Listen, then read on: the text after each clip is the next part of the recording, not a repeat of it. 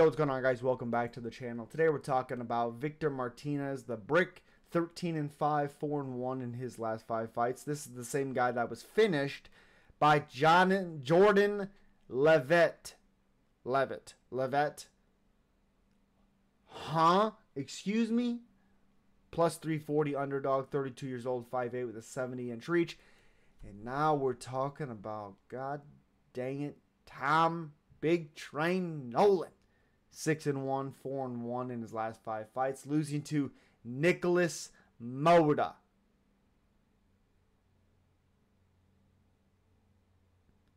Minus 450 favorite, 24 years old, 6'3 with a 73 inch reach. I understand Nikolas Motta is a is a decent striker. I get that. Jim Miller made Nikolas Motta look like it was his child. Jim Miller. Jim Miller is not a striker. What do you gotta do with a Tom Nolan, man? I like Tom Nolan a lot. What are we doing here? 24 to 32 years old. 24 years old for Nolan, 32 for Victor Martinez. Uh, Nolan, again, like I said, was finished very quickly by Nikolas Motta. It was very weird to see. I still don't understand it, but I, I guess it is what it is. Strikes landed per minute is 8.65 to 10.27 for Nolan. 50% accuracy to 56. Absorbed to 7.45 to 9.45 for Nolan. Not good there. Defense 54 to 47.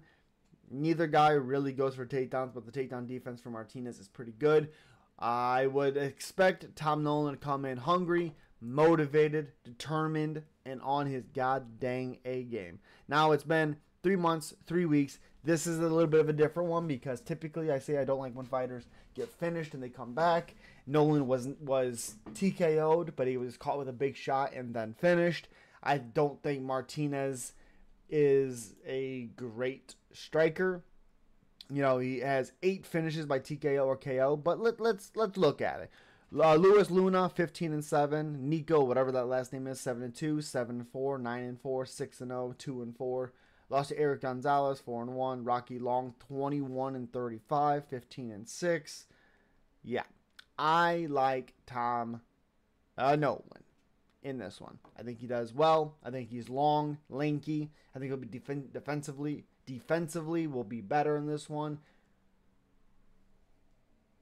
But I don't like him being at a minus 450 favorite. Don't like that. As always, guys, subscribe, like, comment. Let me know who you're picking. I'll see you at the next one. Peace.